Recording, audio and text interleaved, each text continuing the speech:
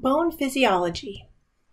There are four parts that we're going to go through. Overview composition, structure and ossification, remodeling and hormones, as well as fracture repair. Part one, we're going to do deal with overview and composition. The skeletal system has three main functions. One is structural in that it provides support for the body, protection, for our organs and leverage to allow our muscles to create movement. So bones don't make movement, muscles do.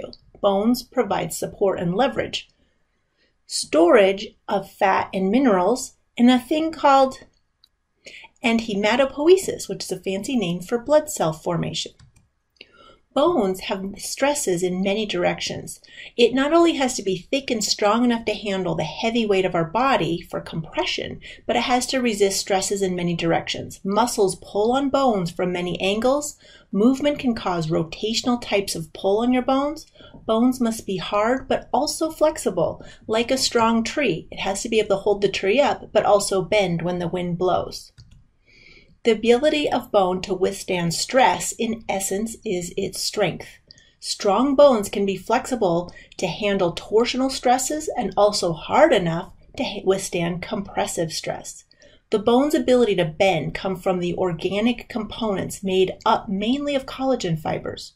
The bone's ability to handle weight and pull along its axis is the inorganic component, which is mainly calcium hydroxyapatite, a compound that gives bones its strength and rigidity. Thus, the organic components allow for bones to be flexible and withstand strain, while the inorganic components provide the hardness of bone to handle the weight. Some important micronutrients that make up bone are vitamin K, vitamin D, vitamin C, calcium, magnesium, potassium, and sodium. When people think of bone minerals, they can't get past the calcium. But in order to have healthy bones, you have to have a balance of all of these in addition to others, not just calcium. Just like building with concrete, you need both the cement and rebar rods. The rebar is like the collagen. It's there to give the cement something to bind to and prevent it from crumbling when stresses are put on it. This is an example of no rebar or little collagen in bone to withstand the shear tension. In bone, the loss of collagen would make the bones really brittle and easily breakable with little torsional strain. This is an example where the concrete wasn't strong enough, then the rebar bent under the pressure. In these examples, we can see bendy and brittle bones. On the left, we can see that the bone you can is bone is twisting. You can actually use torsional strain and it twists like a rubber band. So this is an example of too much collagen, excessive organic. There was the loss of calcium in it. So this bone is very bendy like Gumby. On the other side, we can see if bones are really brittle and break and shatter easily, that means they don't have any collagen or they're a significant loss of collagen and they have too much of the inorganic or just the hardness of bone. Bones also have membranes. So around the outside of bone, in this image, we can see a bone that is raw. Um, these are knee bones from an elk the one on the left, you can still see some muscle as well as some connective tissue.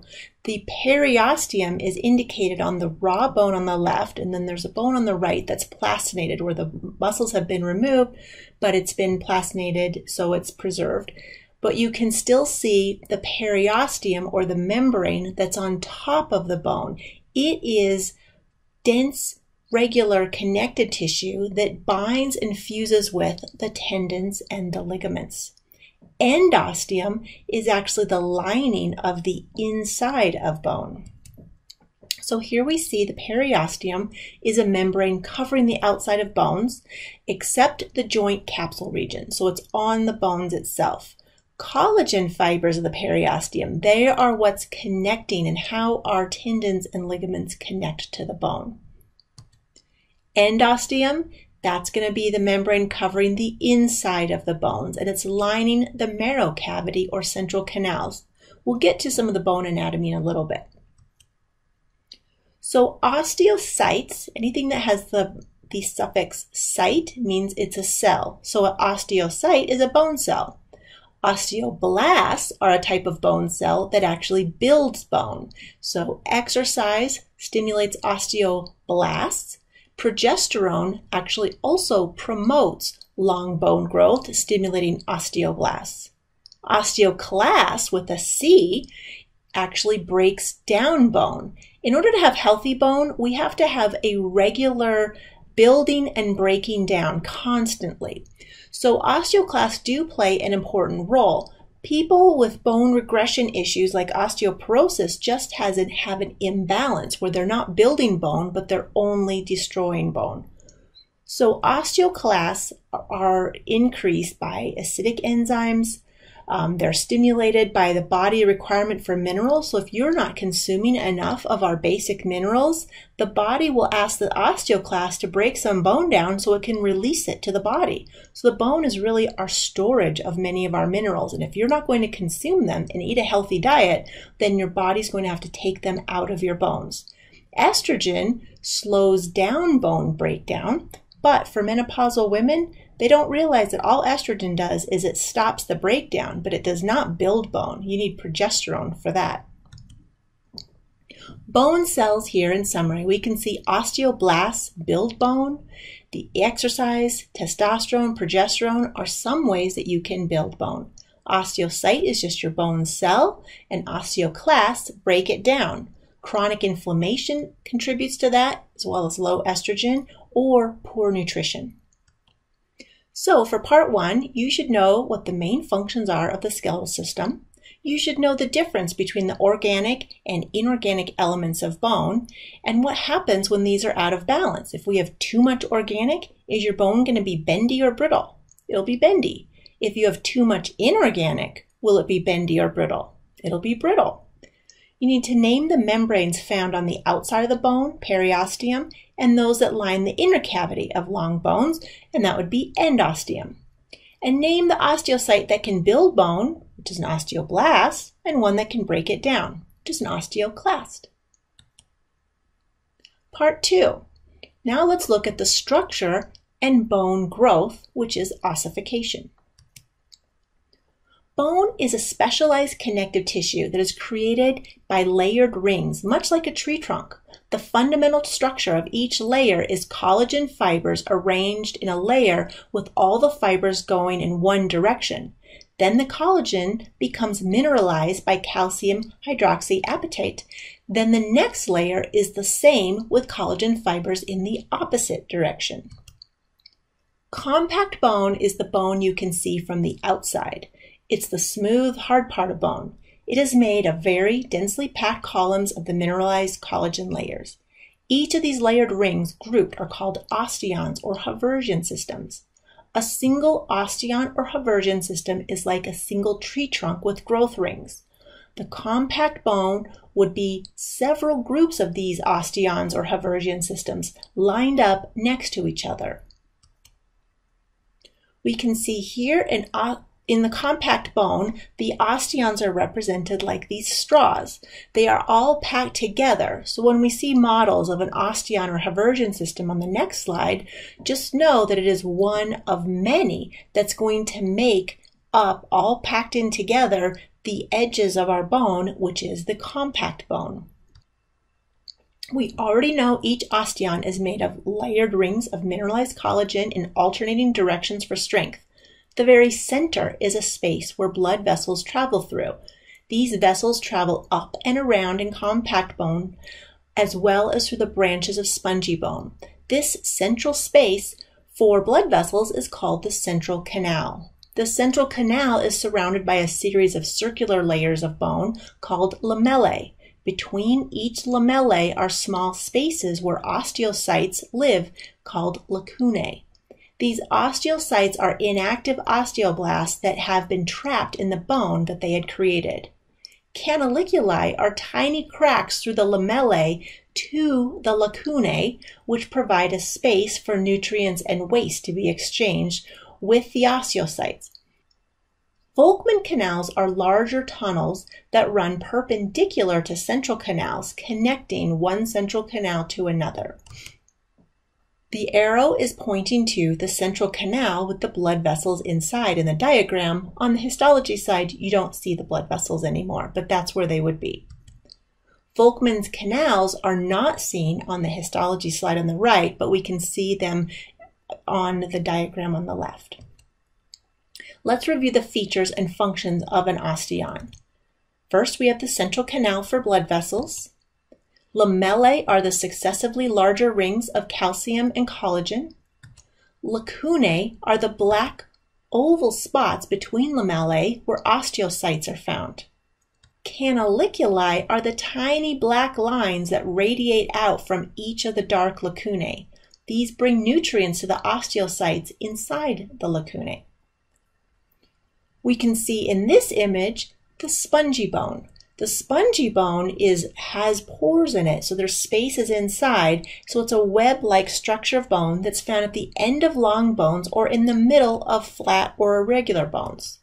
Here are some examples of flat bones, which is in the skull, we can see in the image on the right, or an irregular bone like a vertebrae. So those are filled with spongy bone. On a long bone, they're listed at the ends.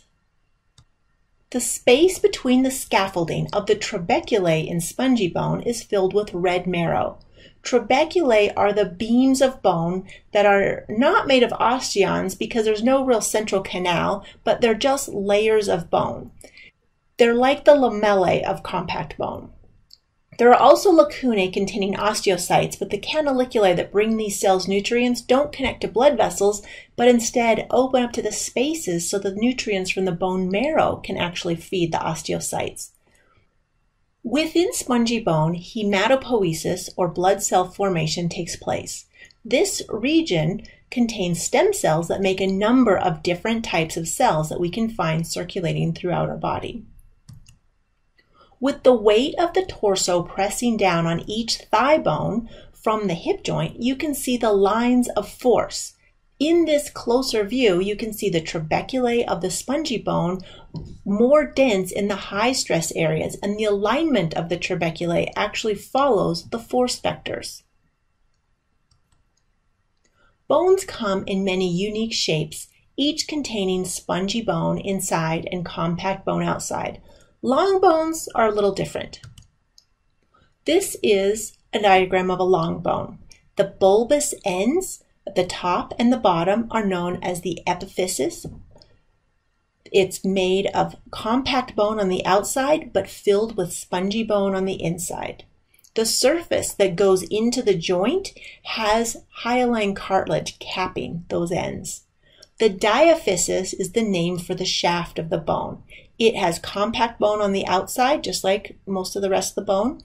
And the inside actually has yellow marrow, which is contained mostly is fat. The main feature of long bones is the shaft of the bone in the middle. This region is the diaphysis. It's made of compact bone around a center space like a tube called the marrow cavity. Within the marrow cavity is yellow marrow which is essentially fat. This is where the fat storage function of bone takes place.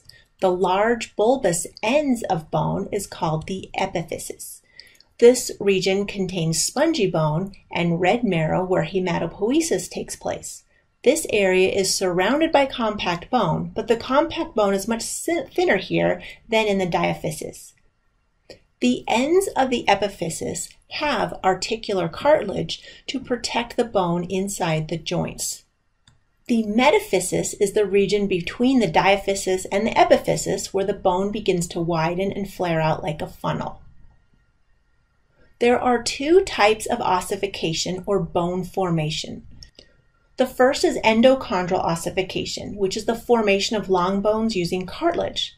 The second is intramembranous ossification, which is the formation of flat, irregular, and small bones using membranes made of connective tissue sheets while the bone cells produce bone inside. Endochondral ossification begins at the embryo stage when all the bones are only made of hyaline cartilage. Through the fetal stages, cartilage elongates as the limbs lengthen and bone cells begin to form in the center of the diaphysis. These bone cells begin to ossify or put in bone structure the area around them, They're producing collagen and calcium hydroxyapatite. The bones continue to grow and elongate while the bone tissue fills in on the diaphysis, creating a medullary cavity that will contain yellow marrow. By the time of birth, a second area of bone with the epiphyseal ends are ossifying that region, creating spongy bone. We will focus on the growth of long bones after birth. So this is the sequence from the neonate through after birth. The main time that you will need to know and you will be asked questions from are going to be the postnatal bone growth. Growth occurs from the epiphyseal plate, which is commonly known as the growth plate. This is made of hyaline cartilage, which is continuous with the cartilage around the outside of the bone or the epiphysis. What happens, and this is happening at both ends, we're just showing you one end in this image, is that the cartilage grows away from the center outward. And so in this picture, it's growing upward, but at the other end of the bone, it will grow downward. The process is that cartilage in the epiphyseal plate is being followed by osteoblasts, laying down bone tissue. Then, as the bone continues to grow, osteoclasts remodel and remove some of the bone. So cartilage cells basically lay out where bone is going to go. Bone cells are following behind and mineralizing as it goes. So we see the epiphyseal plate, which is the growth plate here, and it's also made of hyaline cartilage. The cartilage is growing on one side, which is going to be in this image, the red side, followed by the bone tissue invading behind it. So the more the cartilage is growing, the more the bone has to invade behind, and the taller the person will be. So endochondral ossification really requires the articular hyaline cartilage. It has the epiphyseal cartilage inside, chondroblasts, that's the cartilage cells, they're forming cartilage on the leading edge, and osteoblasts are forming, forming bone coming in behind. The basic process of endochondral ossification is that the chondroblasts create a template for the osteoblast to fill in. We can see here that the green are the chondroblasts, we can see, say, in the femur on the top in red, moving downward towards the knee with the blue osteoblasts or the bone cells moving in behind. In the tibia below, we can see the same process. In the image to the right, we can actually see a histology slide closer up where we can see in the green, the green arrow is representing where those chondroblasts are going, the cartilage cells, and the blue in that histology slide is showing the bone cells invading. Although hyaline cartilage is one continuous formation, it has two distinct regions. There's the articular cartilage on the outside to protect the bone within a joint. That part of the bone faces another bone in a moving joint will have a cartilage to cover it. Sort of like acts like a bumper. The cartilage inside the bone, inside the metaphysis of the bone, is known as epiphyseal cartilage or an epiphyseal plate. This will go away after puberty, and the person will no longer have the ability to grow taller. We can see here the articular cartilage and the epiphyseal plate inside we can see on the left are epiphyseal plates in a prepubescent individual. It looks like the bone is broken, but it's just cartilage, so that's a normal growing bone in a child. On the right, you can see the faint line where in an adult where there is no more cartilage and the bone has filled in, and that's known as an epiphyseal line. Now we'll go over intramembranous ossification. Other bones than long bones don't use cartilage as a template to grow. These types of bones, like flat bones and irregular bones, grow from ossification centers that deposit osteoblasts that deposit bone tissue as spongy bone, and then it moves outward, radiates outward in a pattern between the membranes that form the shape of the bone. As you can see, the fetal skull with the prominent ossification centers inside the membrane. The areas that have not yet filled in with bone at the time of birth is actually known as the baby's soft spot. There, it's still just a membrane. That allows for when the baby being born for the head to be more maneuverable to make it out the birth canal. However, over the months post or over the months after birth, those corners literally fill in with bone through this intramembranous ossification. Here is a fetal skull. We can see the soft spot here at the top, and you can see some ossification centers and the thinner bone growing as it radiates out. You should know from this section the type, what part of bone that you can find compact bone in. What is compact bone made of? Those would be those Haversian systems. Name the features and functions found in an osteo, osteon. So you should know about the central canal, the lamellae, the lacunae, the canaliculi, and the Volkmann's canals. What is spongy bone made of? Those are the trabeculated bones and the red marrow. What is hematopoiesis? That is bone cell making. And where does it take place? In the red marrow. Where is the spongy bone located in flat or irregular bones? And how are long bones different? Name the anatomical features of a long bone. And you should know about how long bones grow and what the name of that process is called. And you should know how flat bones grow and the name of that process. Now we'll go through factors that affect bone remodeling through hormones and the role of various hormones. The skeleton is in a constant state of growth and destruction, maintaining healthy bone while the growth and destruction are in balance.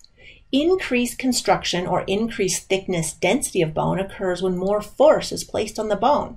So you use it, maybe you're stomping around doing high impact exercise, that's going to increase the thickness of your bones. That's why your dominant hand has a little more bone mass than your non dominant hand due to muscle use and development. We can see here osteocytes are the bone cells. They're found within the lacunae of osteons. We have osteoclasts that break down bone. They release calcium into the blood. So when our body needs more calcium, it just tells the bones to break it down so we can put it in the blood, which is really why we need to eat more calcium and magnesium and have it in a regular diet. Osteoblasts, they build bone also occur when you have excessive amounts of calcium that needs to go into bones for storage. Impact exercise increases bone mass due to the forces being placed on bone. These forces include the jarring and pounding of impact as well as the pull of muscles on bones. Exercise like swimming or cycling, although very healthy and wonderful for cardiovascular health, does, does less to improve bone mass compared to higher impact activities. Warning, if somebody has osteopenia or osteoporosis, the force of high impact exercise can actually cause damage to those bones because it might not be strong enough to handle that much intensity. So something along the lines of Tai Chi or yoga would be better for those folks. Conversely, if you're not using your muscles and the bone doesn't feel the pull or strain of muscle contraction, it's going to reduce its bone mass. This is an effort to conserve energy for the body.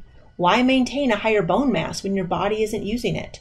In an example, an extreme example of space flight, the lack of gravity, this eliminates the resistance to movement, so muscles don't have to pull as hard on bone. Being in zero gravity environment has a very negative impact on bone mass. Astronauts today have to exercise with special equipment for two and a half hours each day to help them maintain their bone mass. And we can see the image of an astronaut up at the International Space Station doing just that. Two most important hormones to know regarding calcium balance in the blood are parathyroid hormone and calcitonin. The body uses calcium for many uses. When you don't get the calcium through the diet, the body will take it away from the bones by using parathyroid hormone to break down bone and get more calcium in the blood.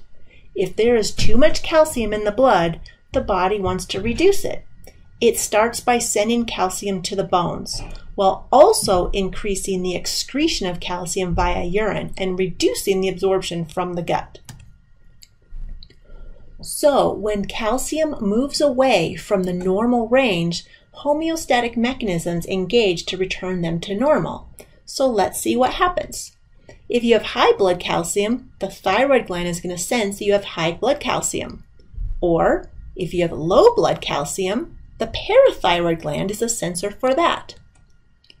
If you have high blood calcium, you're going to secrete a hormone called calcitonin. If your blood calcium's low, on the other hand, you're going to secrete parathyroid hormone. Calcitonin in the, from the thyroid gland in the high blood calcium state is going to stimulate osteoblast. It's trying to say we have too much calcium in the blood. We need osteoblasts to build it into the bone. In the low calcium state, parathyroid hormone says we don't have enough calcium out in our blood. We need osteoclasts to break down the bone so that we can add more calcium into our blood.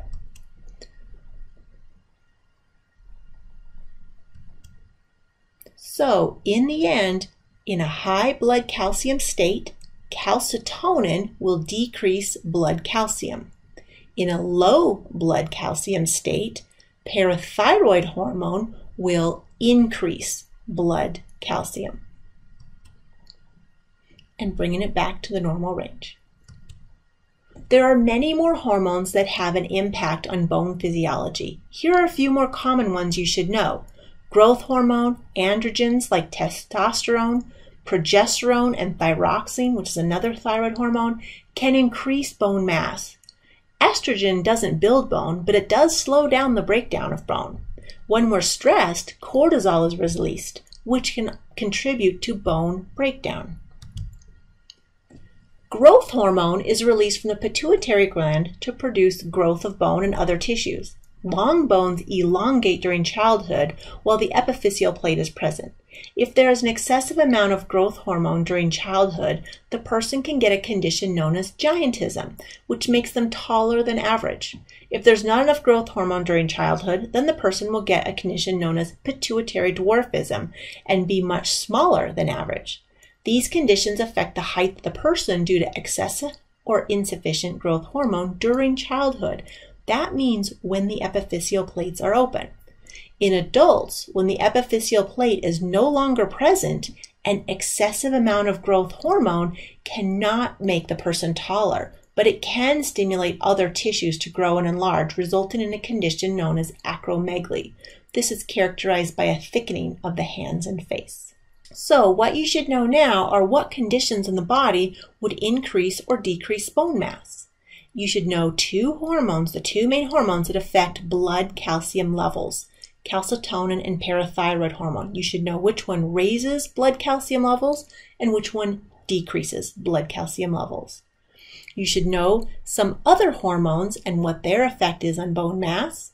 You should know the conditions associated with high or low growth hormone in kids or while the epiphyseal plate's still open, and you should know what acromegaly is.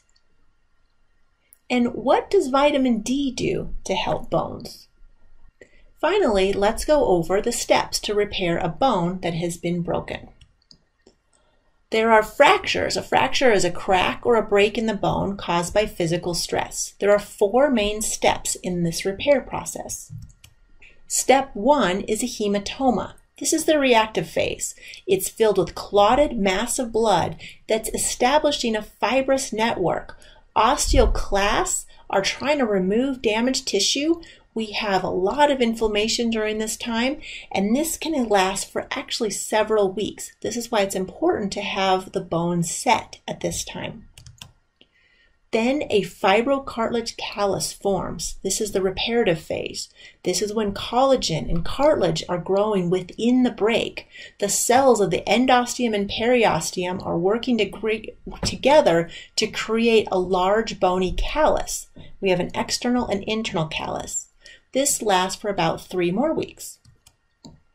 Finally, in the bony callus phase, our osteoblasts are replacing the central cartilage of the external callus. We're replacing it with spongy bone. This is lasting for several months.